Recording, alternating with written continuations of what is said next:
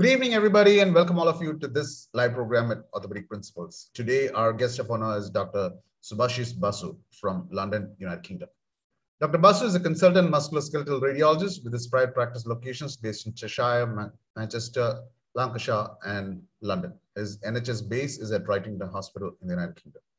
Dr. Basu graduated from the St. Bartholomew's and the Royal London School of Medicine, University of London. He then completed general clinical radiology and higher subspecialty training in MSK imaging at the then Northwest Deanery School of Radiology in Manchester. This was followed by a further subspecialist training during a one-year MSK and sports imaging fellowship at the Chelsea and Westminster Hospital in London. Dr. Basu holds uh, several positions, including a visiting professor at the Manchester Metropolitan University and also a senior honorary lecturer at the University of Salford, where he's passionately involved in education of postgraduate students. He lectures at both national and international meetings and is very keen on publishing his research. So today it's my great honor to introduce you to Dr. Subhasis Basu from the United Kingdom. Over to you, Shub.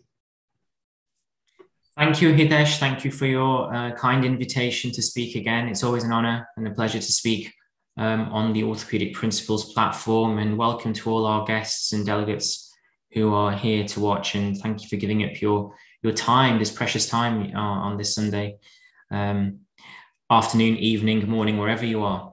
So my name is Shub Basu, and I'm a musculoskeletal radiologist based at Wrightington Hospital uh, in the northwest of England. And my remit today is going to talk to you about uh, musculoskeletal radiology and how we can help treat upper limb conditions. As a musculoskeletal radiologist, working at a tertiary unit, orthopedic unit at Wrightington Hospital, we often see a huge volume of orthopedic and rheumatology related cases. And hopefully, I can just cover a few of the things that we, we go through in our clinical practice. So, I've divided the, the talk um, essentially into two parts. I'm going to talk to you about some of the diagnostic shoulder uh, in imaging uh, modalities that we have at our disposal. And also, I'm going to talk to you about the therapeutic interventions that we can perform in the MSK radiology department that may help um, our clinical colleagues. So moving on to diagnostic shoulder interventions. So with shoulder intervention, it really does depend on what um, what it, you know what what it is, what the problem is, and what is it that you want to solve, and that will certainly re- rely on the the kind of pathology that you're questioning, and that's determined by going back to basics, your accurate clinical history, and examination skills. And then you want to use imaging to help try and confirm um, some of your differential diagnoses that I hope you would have generated from your from your clinical examination. So, what weapons do we have in our armory in the MSK radiology department to help you? So, the, the commonest uh, imaging modalities I've listed there for you, starting off with X rays and ultrasound, and then we have our cross sectional imaging, such as CT scans, MRI scans, and MRI arthrograms. I've not mentioned anything around nuclear medicine um, and things like bone scans and SPECT CT, which are now increasingly used in our clinical practice, but that's a whole talk in itself. And I'm not a dedicated nuclear medicine uh, physician, so um, that's probably best left to somebody who is better in the knowledge of that. So moving on to X-ray. So you know what, what what's good about X-rays? X-rays or radiographs are often the initial choice of imaging, certainly in our clinical practice, and it's really good in the context of assessment of trauma. So if you're looking to exclude fractures and dislocations or acute bony injuries, radiographs are generally quite good at being able to help you with that. Radiographs are also helpful in the chronic setting. So if patients present to you with chronic symptoms, uh, with pain and weakness, reduced range of movement. You know, radiographs are quite useful to be able to identify any um, potential arthritis, whether it's in the glenohumeral joint or the acromioclavicular joint in the shoulder. And other uses include looking for things like calcification in the context of calcific tendinopathy of the rotator cuff. So, x rays are a reasonable option to go for in the first instance. Moving on to ultrasound, here's an image of, of the supraspinatus tendon in the in the shoulder here. Um, why, is, why is ultrasound an imaging modality that you should consider? Well, certainly in the context of uh, rotator cuff disease, ultrasound is really good at picking up changes along the lines of rotator cuff tendinopathy, as well as assessing for partial thickness or full thickness rotator cuff tears. I talked about calcification um, in the rotator cuff with, with radiographs. You can also identify calcification on ultrasound fairly, um, fairly easily. Other things that you can assess with ultrasound of the shoulder include looking for biceps tendon pathology, uh, evaluating the AC joint again, and also assessment of the different bursae around the shoulder, the largest being the subacromial slash subdeltoid bursa for any signs of bursitis or thickening. The other positive um, features around ultrasound include it's a dynamic study. So by that, I mean I have the patient in front of me, I can have a conversation with the patient to work out where their symptoms are, how it started, etc., and corrob- corroborate that with my with my imaging. I can also move the patient's shoulder around in, into different positions, not only to assess the different rotator cuff tendons, which then get um, shown in the in the different positions, but also patients often say, I have pain in this position, doc. And then by moving into those positions, you can sometimes help to identify the underlying pathology it is certainly operator dependent. So by that I mean ultrasound in the right hands, in experienced hands with with good knowledge, you can actually glean a lot of information out. So uh, depending on who you're sending your ultrasounds to, if they're very good at it and they do it day to day in as part of their clinical practice, then you should get really good information out of that. What are the downsides? What are the negatives to ultrasound, however? So I put operator dependent here again at the top, and you might think, well, that's strange. He, he put that as a, as a positive. How can this be negative? Well, equally, in the wrong hands, certainly in people that are not so experienced with ultrasound, you know, ultrasound may um, cause more problems than, than, than solve solutions. So it's very important, especially nowadays, we see so many more ultrasound courses out there and so many different um, people from all uh, walks of, of life really trying to gain access to ultrasound to be able to use as part of their clinical practice. I have no objections really against that, but I think if you're going to offer ultrasound to your patients, you must be well trained and well experienced in that.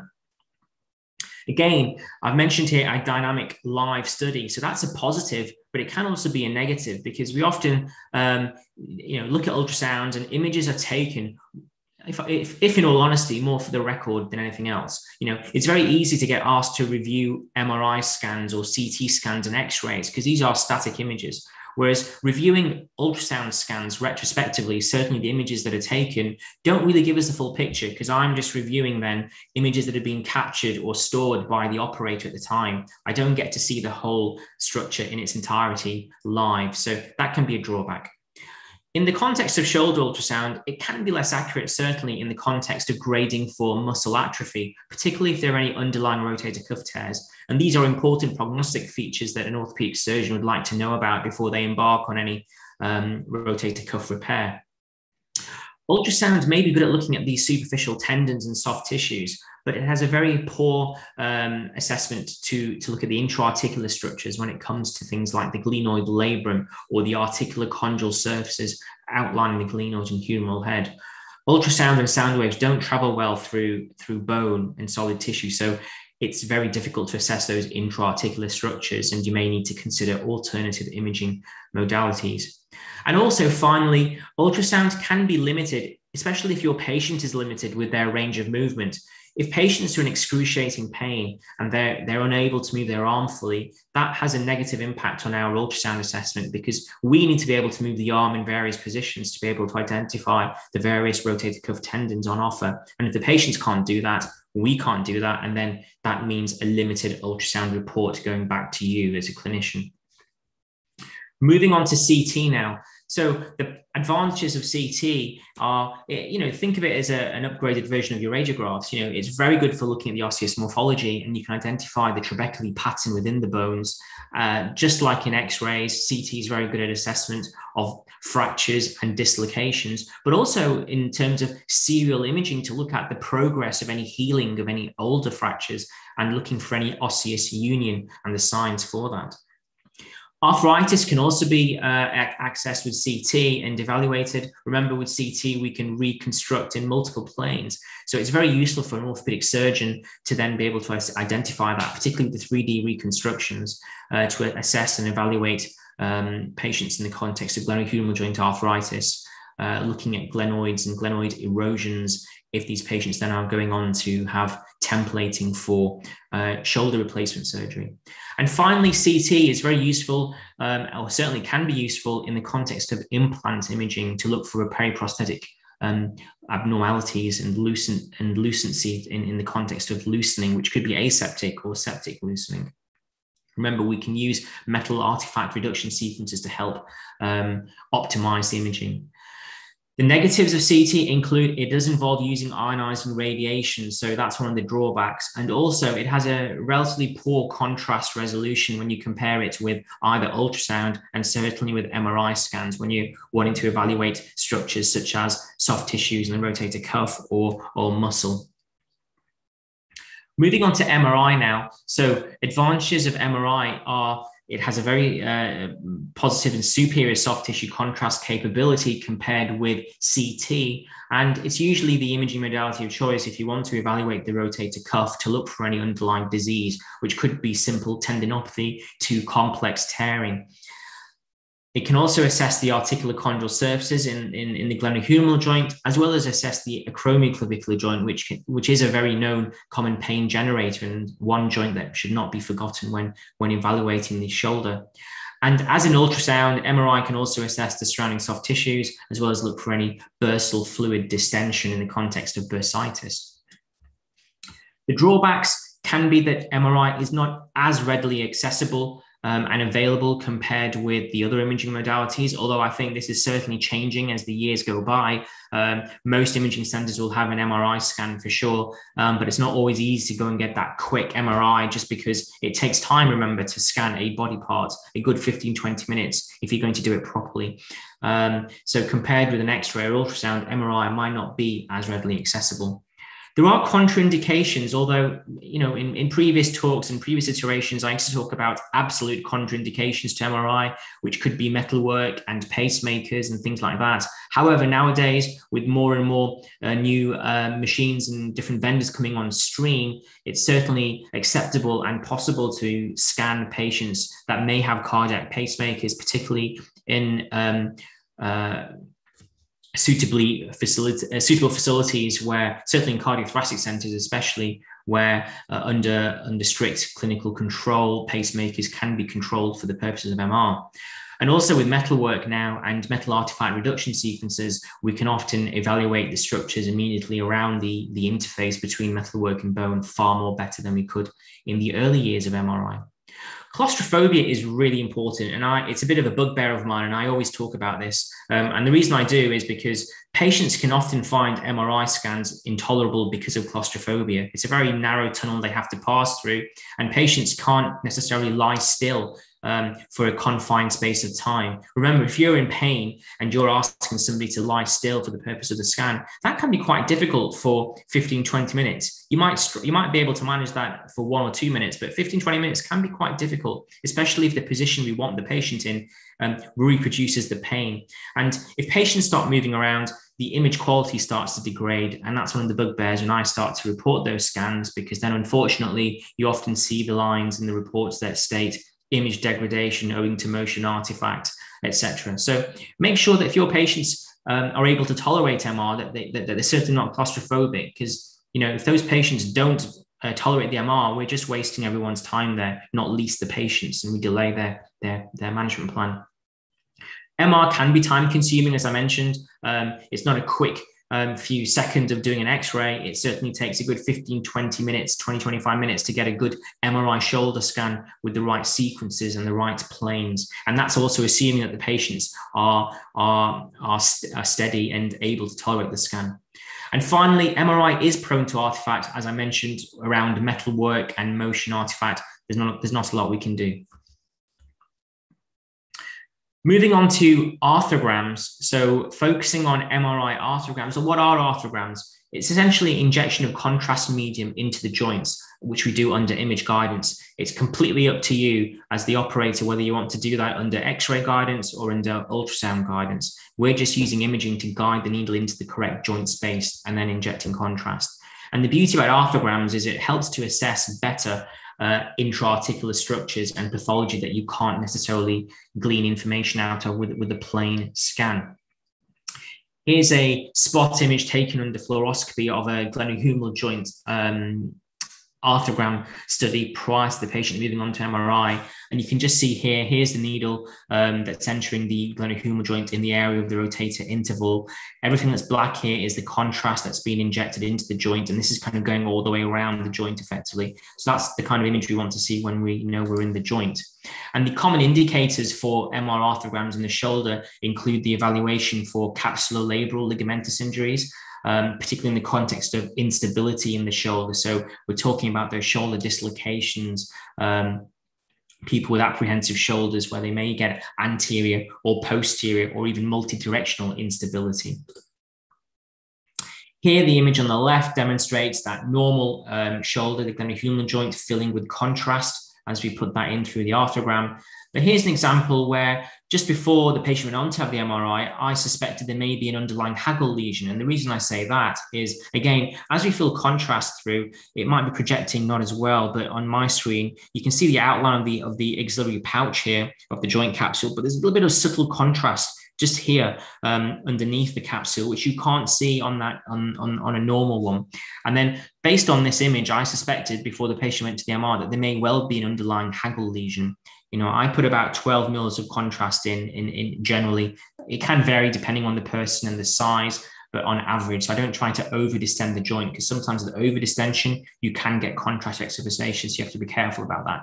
And lo and behold, when the patient had the MRI, you could see this contrast extravasating actually um, inferior to the joint capsule where there was an underlying HAGL lesion that was confirmed, a humeral avulsion of the glenohumeral ligament.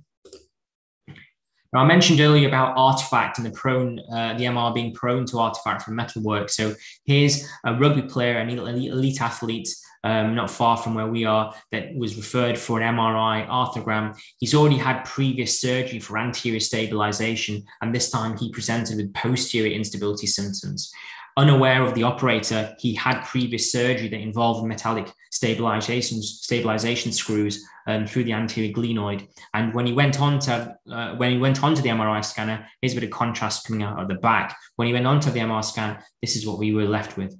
Impossible to make any uh, meaningful information or glean any meaningful information out of that.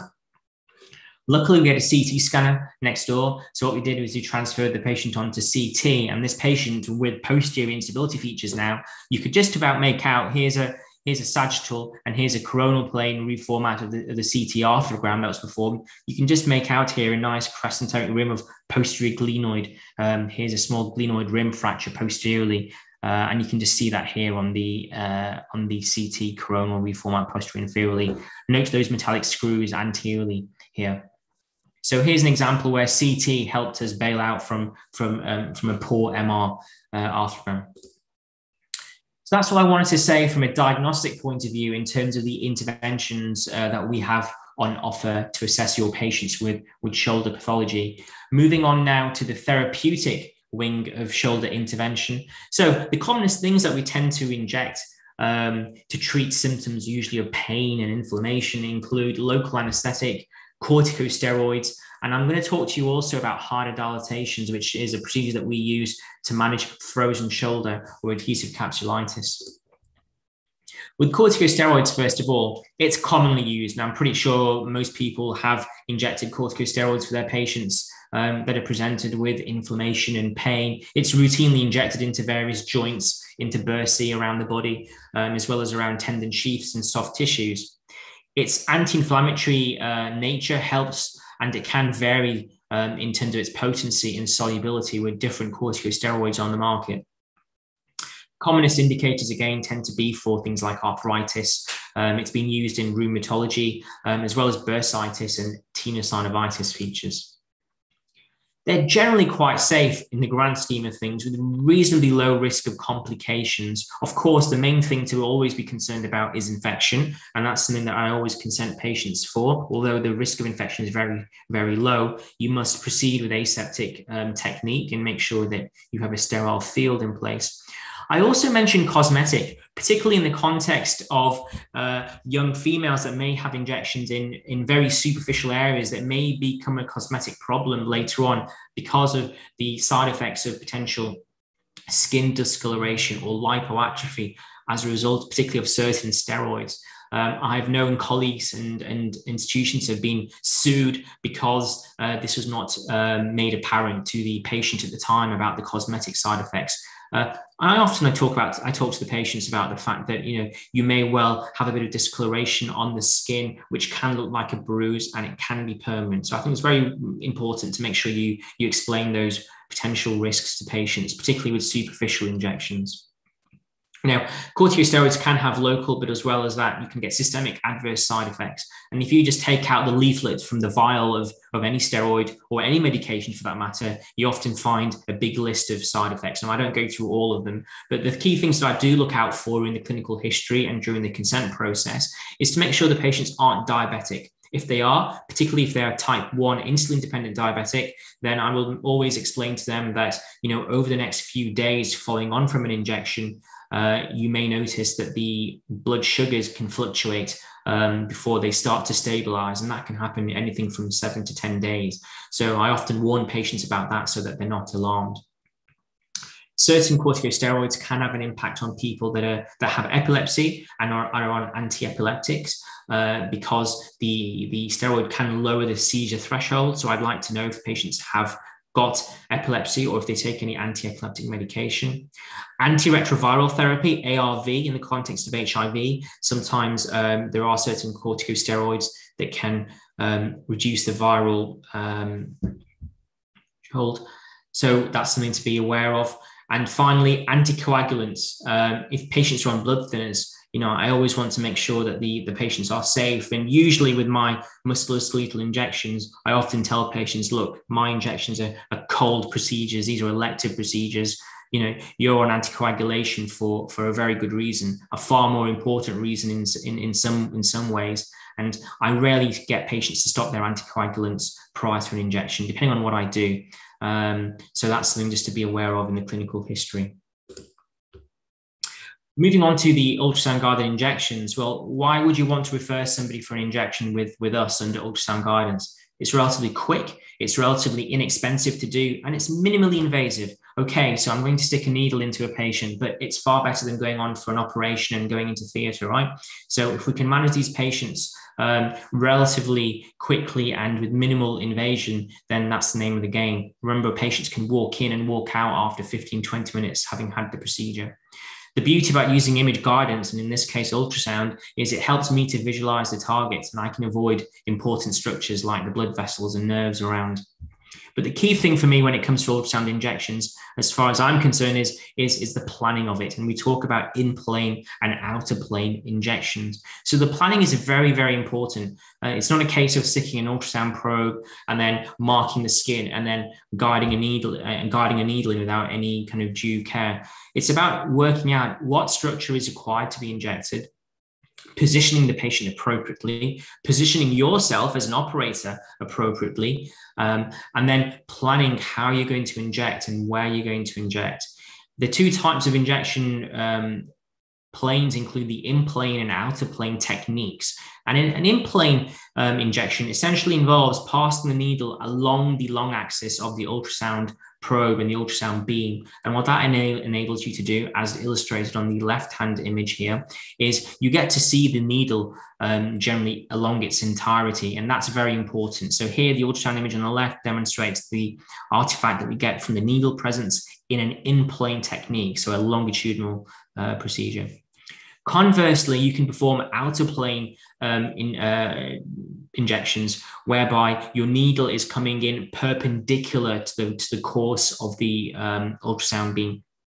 So all you're going to see is like a, a sharp, bright spot on your ultrasound image as seen here at the bottom. So this is where uh, you see an outer plane um, needle procedure. This is technically a bit more difficult than an in-plane and certainly if you're starting off, people are taught to, to learn the in-plane technique. I reserve the outer plane technique myself when I'm injecting small joints, which I can find very useful, whether it's the acromioclavicular joint, for example, or the base of thumb uh, CMC joint in the context of arthritis. So this is quite a useful technique to, to have at your disposal if you were to perform these.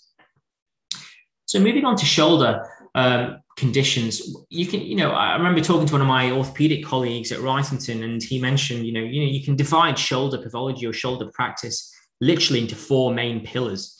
Uh, you can divide them into impingement and assessment for rotator cuff disease. You can divide it into glenohumeral instability and have a cohort of patients presenting with that.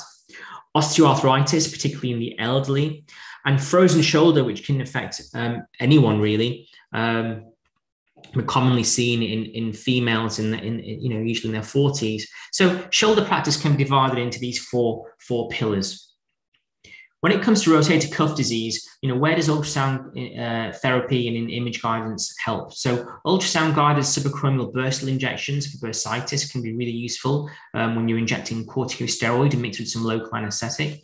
The images here and the illustrations on the left demonstrate how you would position the probe and how you would guide the needle in an in-plane technique to access the subacromial bursa, which is outlined here in blue. You can see on the top image um, this ultrasound uh, sonogram demonstrating the supraspinatus tendon with the subacromial bursa slightly distended here superiorly. Here's an in-plane technique with the needle passing through where we can access the bursa and inject corticosteroid and anesthetic.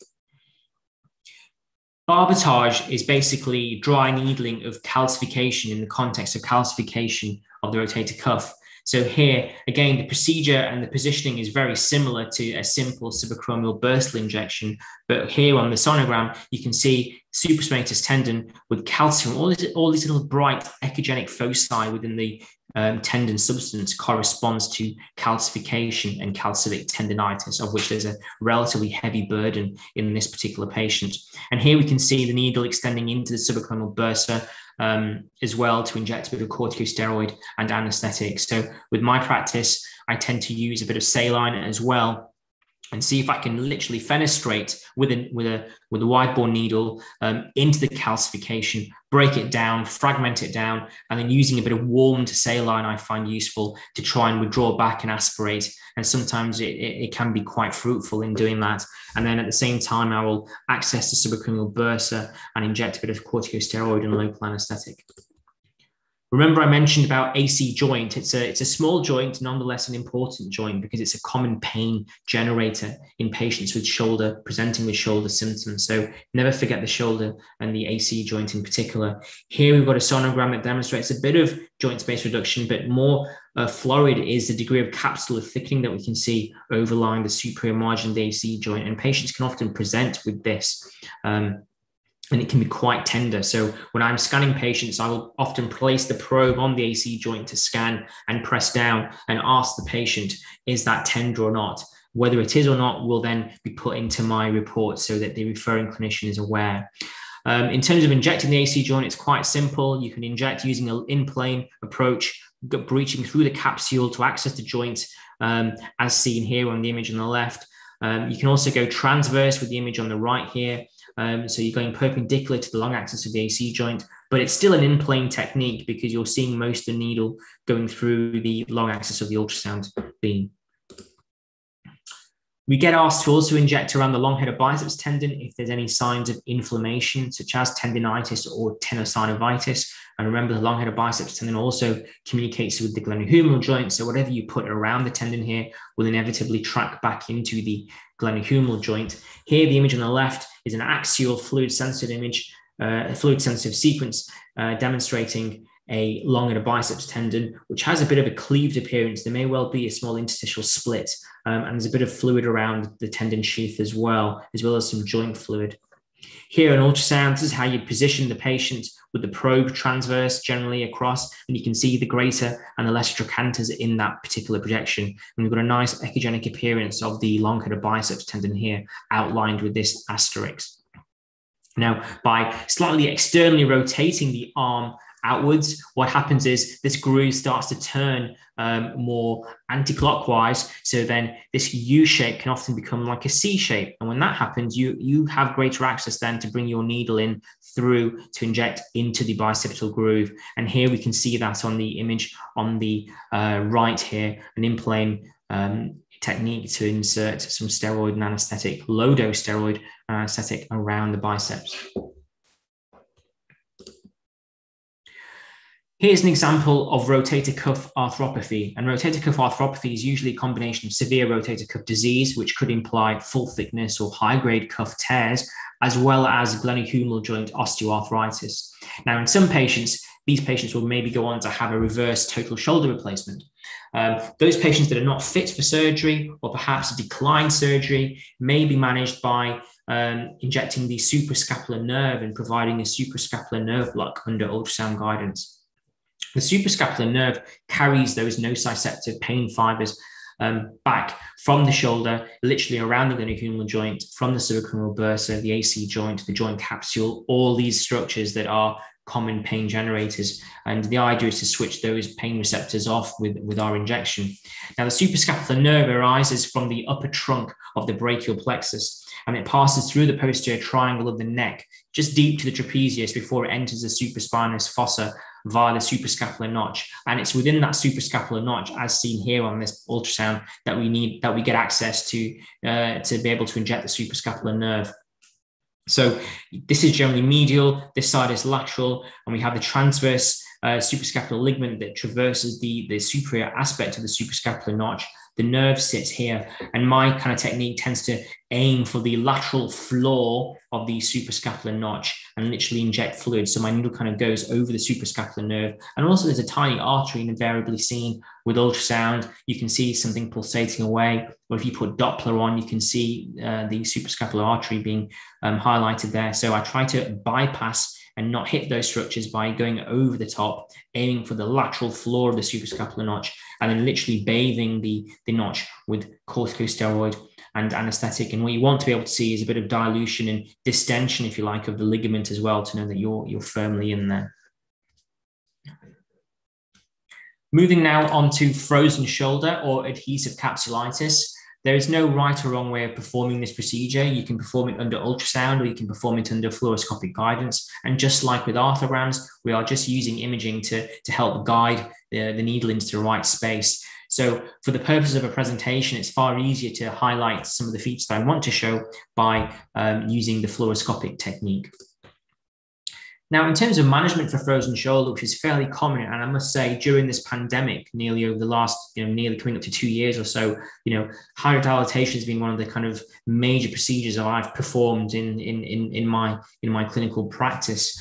Um, and in terms of management, how can you manage frozen shoulder? Well, uh, patients can do this themselves by taking some tablets, oral analgesia or anti-inflammatories. Um, and if that doesn't help, then potentially a joint injection, so an intra-articular corticosteroid injection may help. Um, hydrodilatation, which I'm going to talk to you about. And then finally, there's surgery. Um, and I know in some places, surgery tends to be the first line, um, and it can be anything between a manipulation under anesthetic versus an arthroscopic capsular release, an ACR.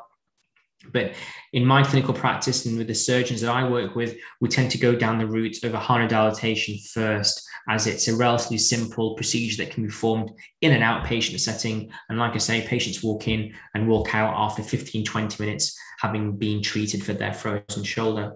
I put physiotherapy here in bold at the bottom because this literally underpins everything else that we do. So even before the patient comes to see us, hopefully they would be having some physiotherapy. They often present to us because the physiotherapy is kind of hit a roadblock and they're not able to move their arm as much anymore, or the pain is just too substantial.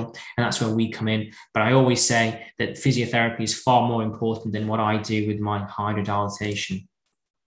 So hydrodilatation or capsular distension arthrography can provide benefit in two ways. It can cause capsular distension and thereby try to break down the scar tissue that forms around the shoulder capsule. And I used to believe in that at the beginning, but now I feel it's more about weakening those bands of scar tissue because those bands of scar tissue can be fairly, fairly strong um, and quite tough to break down, particularly under arthroscopy. So um, the distension part of the procedure certainly should help to try and weaken the bands of scar tissue, if anything else.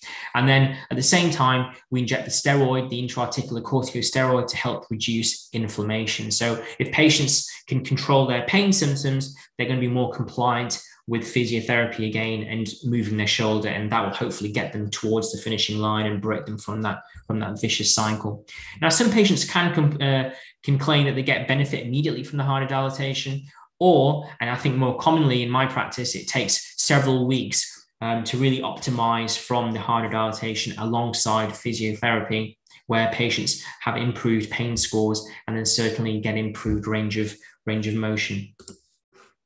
Now, hydrodilatation is not a new procedure. It's been around for quite some time, and the Mail is a, is a, is a newspaper um, that's available here in the UK. And I've just shown, you know, I think the newspaper, the journalist, the health, the health editor, I think has a fascination with frozen shoulder because every four or five years they seem to publish something along those lines, um, as highlighted with these three different articles over a span of nearly 10 years. But it's certainly been around a while. So, what do we do in our practice? So, for me, I'm always going to look for an x ray first of all. Has the patient had previous imaging and is there a previous x ray available for me? And I'll explain why in my next slides. I'm going to consent the patient, an informed written and available consent to go through the procedure so the patient is fully aware of what is expected of them from us and also explain how the procedure goes. And then, like I said earlier, you can perform the procedure either under x ray guidance or fluoroscopy with the patient lying supine most often, and you access the shoulder joint using an anterior rotator interval approach, as the images are all going to show in the next few slides. Uh, you can also perform the, the procedure under ultrasound.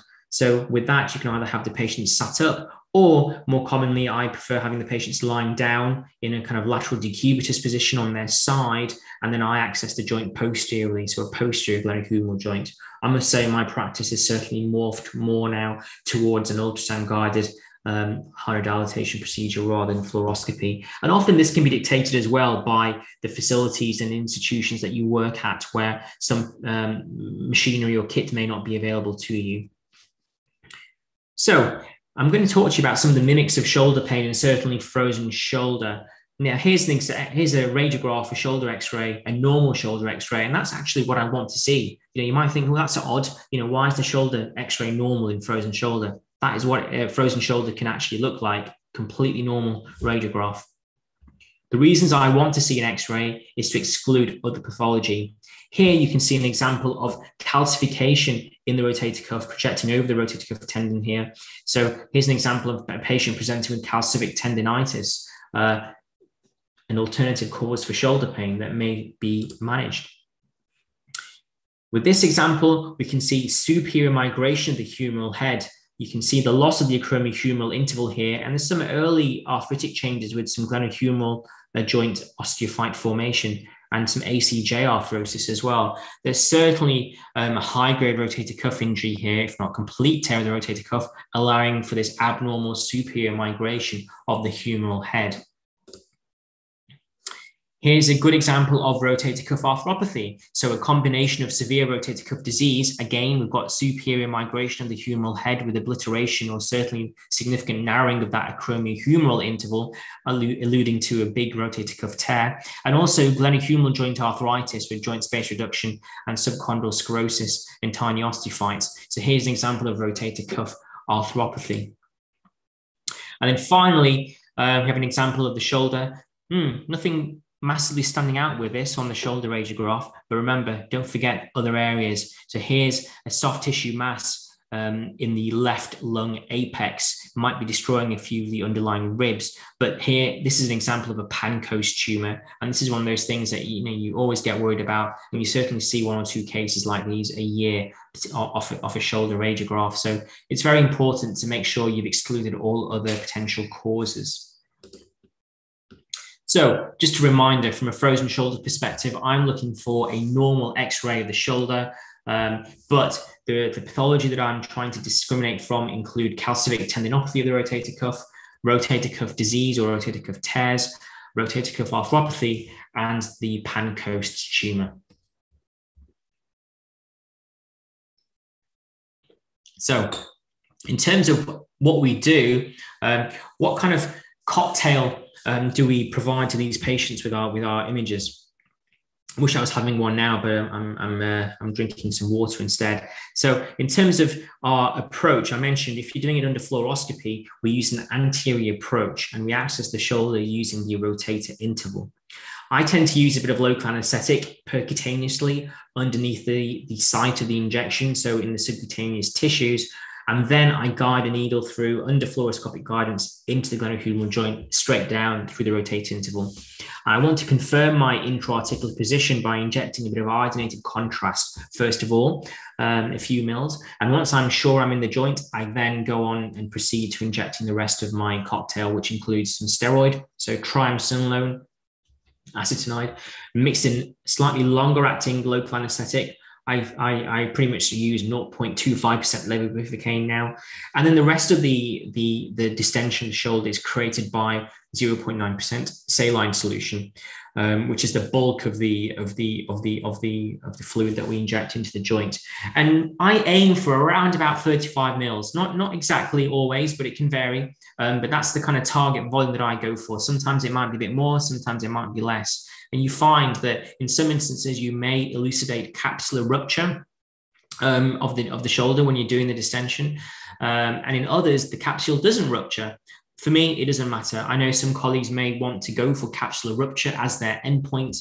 As far as I'm concerned, I'm very much more um, concerned with trying to stretch those bands of scar tissue. So this schematic is essentially imagine an, an elastic band that we're trying to stretch. I tend to inject fluid and uh, relax on the plunger with my syringe. I often see it moving backwards and I inject again. And by doing that repetitively over a few minutes, I suddenly feel a give each time, and you get more pliability to the shoulder capsule. So for me, getting a or achieving a capsular rupture is not necessarily the end point. Um, it's more about treating the patient as they are on their merits, injecting slowly and relaxing, and trying to distend the shoulder in a very controlled manner. And as I said earlier, physiotherapy is important, probably far more important than what I've done um, with my hydrodilatation. It's key that these patients go on to maintain physiotherapy afterwards.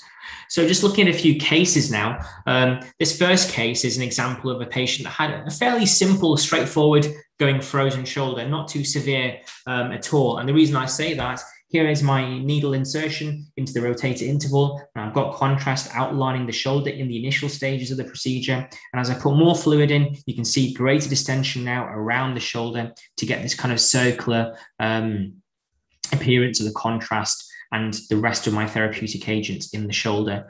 Notice how the glenohumeral joint capsule at the inferior axillary recess is fairly placid here. You know, you've got a nice going pouch. That's important. Keep this in mind as I move on to case number two. Now, in case number two, in a different patient, we've now um, accessed the rotator interval. I'll put some contrast into the joint. Unfortunately, there's a little bit of outlining of the long and the biceps tendon as well at the same time, which could have been down to the injection as well. But you do sometimes see contrast decompressing into the bicep tendon sheath as well as fluid takes the path of least resistance. And in this case, as we go through these progressive images, you can see again the contrast distending the joint here, as you can see. But this, the, the, the amount of distension of that capsule inferiorly is far less compared to our previous case. So I know just looking at these images, I would suspect this patient has got a moderate going frozen shoulder. And essentially it was when we were doing this in practice, because it was a lot, there was a lot more pressure to fight back against when I was injecting. Here's an example um, of, again, a moderate frozen shoulder, which demonstrates capsular rupture. So contrast in, inserted into the joint, distending the shoulder joint. We've got contrast decompression into the long head of biceps tendon sheath. That's not a big problem. We put more fluid in, again, distension, but there's no real big um, lax pouch here. So this tells me the capsule is quite constricted. It's quite scarred down and quite tight. So good going frozen shoulder. Here's a subcoracoid recess filling up with contrast. And with, with a capsular rupture, what tends to happen is you see this contrast start to dilute as it extravasates medially this way. And that's what you can see on this final image here, contrast extravasating, fluid extravasating medially. Once you've hit this stage, there is no point in carrying on with injecting because all it does, it just leaks out. So you stop there. Um, I think case four is actually the same. I think I should have uh, removed that. Case five if we jump to case five, you often see um, frozen shoulder present in patients post trauma. And here's an example where somebody sustained a fracture dislocation of their right glenohumeral joint. You can see the humeral fracture, and this was subsequently relocated and plated. And we've got a PHILOS plate there in situ. This patient developed frozen shoulder in the weeks preceding their operation, and their physio was more of a struggle, and they had restricted movement and pain. So you can perform the frozen, you can perform the hydrodilatation as well in these patients. Again, similar approach, contrast outline joint. We put more contrast in, but there's very little distension here. This is a very good, um, there's very distension of the joint pouch that is at the inferior axillary recess there's a good going frozen shoulder here in a post-operative patient. So, you know, that's another common indicator for seeing um, frozen shoulder in our practice. And that's all I wanted to say on the context of shoulder interventions. And we talked on the diagnostic and the therapeutic um, image uh, interventions that we have at our disposal in the MSK radiology department. Just to finish off, I thought I'll touch on a brief on hand and wrist intervention and focusing on therapeutic procedures. So here we have a lump commonly associated as a, as a ganglion in the, in the wrist. You can do an MRI scan and you can see on the MRI this nice signal hyperintense, well defined lesion, which consists of fluid on this fluid sensitive fat suppressed sequence um, in the wrist, which looks very much like a ganglion. And this might well be a little tail that might be entering or exiting from the um, dorsal band of the scapholunate ligament is the commonest site that we tend to see. Now, if you didn't do MR, and you did ultrasound, you can see it just as well. Here we've got a nice example of that kind of black fluid structure, the ganglion. Um, this is anechoic on ultrasound, and this brightness behind it, we describe this as posterior acoustic enhancement. These are the features that tell me that this is actually fluid based rather than it being solid um, uh, structure. So here's an example of um, a ganglion. And then if we moved on to aspiration, um, we often get referred to, to aspirate these under ultrasound guidance again as an outpatient procedure where the patient walks in and walks out after 15, 20 minutes good local anesthetic control subcutaneously around the lesion, and then with the ultrasound probe sat on top, I'll just guide a needle into the into the center of the lesion. And actually, what I do, as well as, as aspirating, as you can see here, the, the, the, the reduction in the fluid presence in the, in the cyst, I tend to fenestrate the walls of the cyst as well. So I'll poke through the different margins of the wall and create lots of little holes, if you like, and fenestrate it to try and prevent it from reoccurring. If you make holes in the wall of the cyst, Hopefully, it'll prevent it from reoccurring. But that is one of the risk factors, and you must always consent patients for cyst recurrence. Once I've aspirated, I often inject a little bit of local steroid and anesthetic back into the into the residual cyst bed just for any niggly inflammation that may well arise from there. De Quervain's tenosynovitis is a common condition to present, and here's a classic example on MRI scan. This is the volar side, these are the flexor tendons, and here we've got the dorsal extensor tendon compartments running across the top. These black um, dots here are the low signal structures of the tendons, but lo and behold, on the dorsal radial side, you can see the first extensor tendon compartment has lost that normal homogeneous appearance of that low signal of the tendons, and you've got all this peritendinous um, high signal change inflammation. This is De Quervain's tenosynovitis until proven otherwise. Here you can see an ultrasound as well, this time in cross section. We've got the echogenic appearance of a tendon. And if you put Doppler on, you can see with power Doppler, all this inflammatory change around um, bit of fluid around the tendon as well. This can be injected. And again, you can just guide a needle in either in plane or out of plane around the tendon sheath. So, uh, sorry, in the tendon sheath, but around the tendon to try and dampen down all that inflammation. Increasingly, we get asked to inject the thumb CMC joint and interestingly also the STT joint in, in occasion. Here you can see end stage advanced bone on bone arthritis across the thumb CMC joint with erosive changes here at the base of the trapezium and prominent osteophytes. Um, in some patients, again, who are perhaps not fit for surgery or don't want to have surgery, an injection into the joint may be useful. You can see how tight and narrow that joint is but ultrasound can identify it. And often we try and inject some low dose steroid into the joint. And I also inject around the periarticular tissues as well, because I think you also get a good going um, pericapsular inflammatory response as well. So the, the cortisone may well help there. Carpal tunnel syndrome, again, a very common pathology to see in people. Um, and you can use ultrasound to diagnose that um, from, a, from a diagnostic perspective. What you see on the ultrasound here on the image on the left is this kind of hypoechoic appearance of the median nerve here. These little fine dots represent the individual nerve fibrils, and it tends to have this nice kind of oval or round shape to it, and you've got the flexor retinaculum or the transverse carpal ligament running across the top of it. With carpal tunnel, what tends to happen that that that flexor retinaculum can get thickened and it can compress and press on the median nerve, and one of the subtle clues tends to be flattening of the nerve. So now I get to see less of those nice hypoechoic nerve fibrils. The nerve is actually enlarged. It has an increased cross-sectional area as it becomes flattened due to the overlying um, flexor retinaculum pressing down on it. How can we manage that? Um, radiologically, well, we can inject um, and bathe the median nerve in the carpal tunnel with some anesthetic and cortisone. So here we've got a needle advancing in. And what I tend to do is I inject both superficial and deep to the nerve and try and separate out the tissue planes between the nerve and the overlying flexor retinaculum in that visit. Again, fairly easy to do. And finally, just touching on trigger digit um, which again is not uncommonly seen as well. Uh, we know that in the finger, the flexor tendons are held in place via a combination of pulleys, both annular and circular. Um, it's the A1 pulley, the annular pulley that we're concerned with in particular most of the time, which we see is thickened. You can see with these sonogram images um, here that the annular ligament shouldn't necessarily be seen in the normal setting. So if you do see it, it's more invariably abnormally thickened as it is in this case. And that can um, predispose then developing trigger digit or trigger finger. This is in the long axis. This is in the short axis. So the probe turned 90 degrees as if you're looking at the tendon end on. And you can see the annular ligament thickened here. If you put Doppler on, you can see the inflammation around it as well. And this is very easy to inject. Again, under ultrasound, guide a needle into the thickened tendon sheath and we often inject just uh, adjacent to the, the thickened pulley and almost separate it out. And you get to see again with dynamic movement of the tendon, free going, uh, free moving tendon excursion of both the FDS and FDP components there. If you completely tear your annular pulley, you can get this bowstringing effect.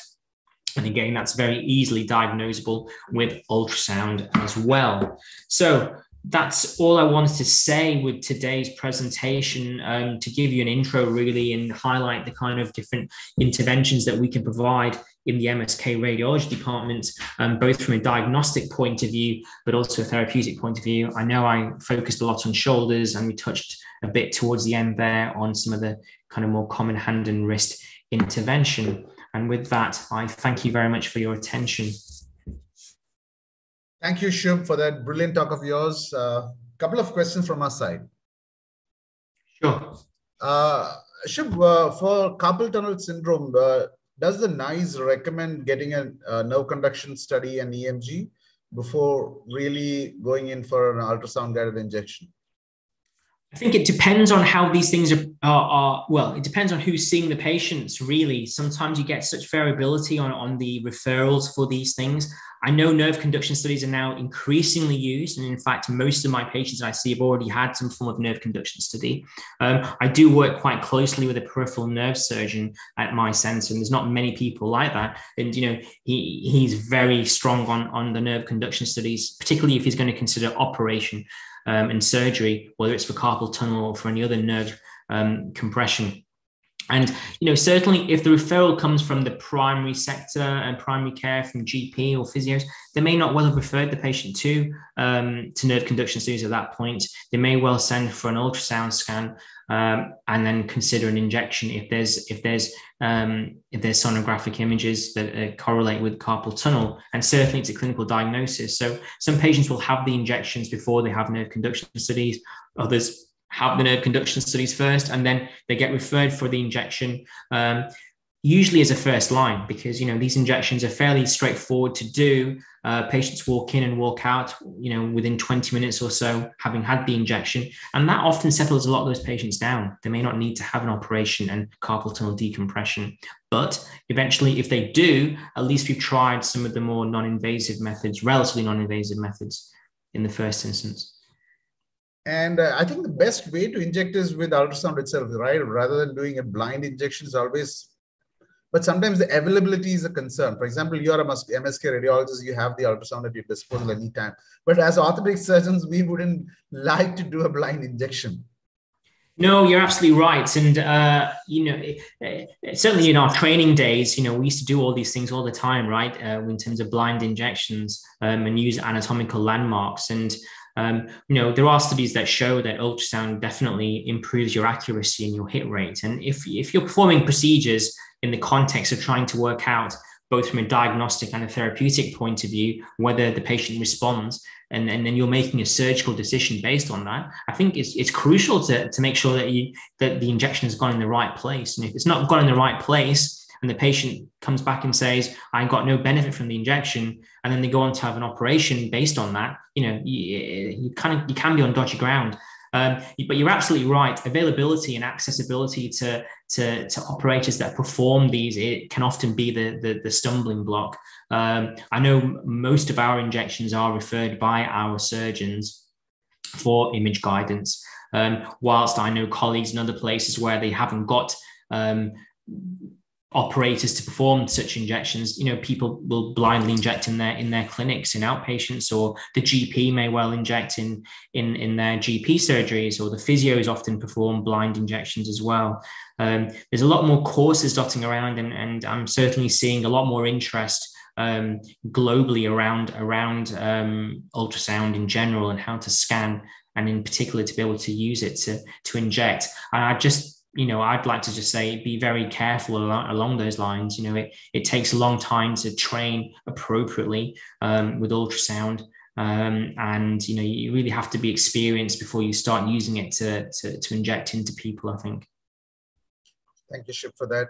And uh, in similar lines, what has been your experience with ganglion and uh, de Quervain's disease? Are those ones where you inject come from the uh, GPs? Because as surgeons, I would uh, surgeons would always like to excise or release, right? Even surgeons are looking forward for arthroscopic excision of a ganglion. Yeah, absolutely. So I mean, we're kind of maybe moving, depending on where we are in the world, we kind of tend, tend to be moving to, to, kind of minimal invasive procedures and, you know, seeing how the pandemic has evolved as well over, over the last couple of years for us all. Um, you know, access to surgery has certainly been a problem and access to theatre has been premium. Um, whereas, you know, we've been able to carry on in radiology in performing diagnostic services, but also such therapeutic procedures as well. The other thing about these injections are look, you know, patients come in, they're fully awake. You know, I'll give them a bit of local anesthetic. There's no need to have a general anesthetic. There's no need to go to theatre and get admitted into hospital for all their various procedures. So, you know, invariably, a lot of these procedures can be performed fairly quickly and and and substantially, a lot of patients can get treatment from it. And that saves the costs of an operation, or it certainly saves patients having to go through an operative surgical route in the first instance. Now, I'm not saying there's no role for surgery. Of course, there can be, but if you've in, if, if you've exhausted the the relatively non-invasive routes first of all, and the patients then represent back, I think patients will then be more willing and accepting that okay, maybe surgery is my is is the only way now. Particularly when it comes to ganglion aspirations, you know, if they're if they're simple enough, you know, why not try and aspirate? And then and then they're off on their way. And if they reoccur okay they can either have a second image guided aspiration or the surgeon may well decide at that point okay it's come back twice now. You know what? It might just be better to to, to do it arthroscopically in excise uh, and the same goes with our, uh, our and tenosynovitis and, and most of our injections really, Hitesh, in, in all honesty, it's it's about um, it's about trying to what you know what we can do best for the patient at the time um, everyone's circumstances can be different. Um, there are some patients that will say, no, I want a definitive um, solution to this. I want to go straight to surgery. Sometimes there's not a lot we can do with that. So, yeah. Shiv, for that. And just one last question before wind up the session. And I personally feel the biggest advantage of ultrasound is for detecting fluid. For example, in a deep-seated joint like the hip, I get an ultrasound and I know, okay, quickly, there's an effusion. Either it's going to be a transient synovitis or it's going to be a hip arthritis. So do, don't you think in similar lines that the ultrasound is the best way to find fluid? Absolutely. So you know we we have all these imaging modalities um, to hand, and they all have their pros and cons. And you know, as a radiologist, often our job is more like being a detective, you know, and uh, trying to uh, elucidate and find out what the underlying problem is. And sometimes one test alone doesn't give us the entire answer. And so, if, if a radiologist, certainly if I rely on other imaging modalities, what I try and do is, you know, if it's an MRI scan, you know, we have multiple different sequences that helps us to identify the tissue structures and the tissue contents. But sometimes it can be difficult. Um, whereas I will then switch and maybe suggest an ultrasound scan. Like you say, it's very easy to identify fluid relatively if it's there between simple fluid or maybe thickened tissue like synovium in the context of rheumatology or in chronic inflammation. And that can help us to identify whether, oh, would an aspiration actually be um, successful or not? Because if there's no fluid, you're never going to get any fluid out. Uh, other techniques with ultrasound is uh, you can you can compress things. So if there's something that's superficial and fluid based, you know, by pressing down with the probe and, and, and the lesion being compressible, it gives you more information there that ah this this looks more like a, a fluid based cystic component than than than something more solid. So yeah, certainly not in our practice. You you know if I'm stuck. Uh, I tend to use the various imaging modalities perhaps to try and get me out of um, out of trouble. Um, and that's that's that's that's why they all have their own advantages and disadvantages. Thank you, Shiv, for the. I think that's all the questions that we have for this session. Thank you for the fantastic lecture, and I'm sure this lecture is going to benefit a lot of people all over the world. Thank you again, Hitesh, for your invitation, and I hope it was useful. Thank you.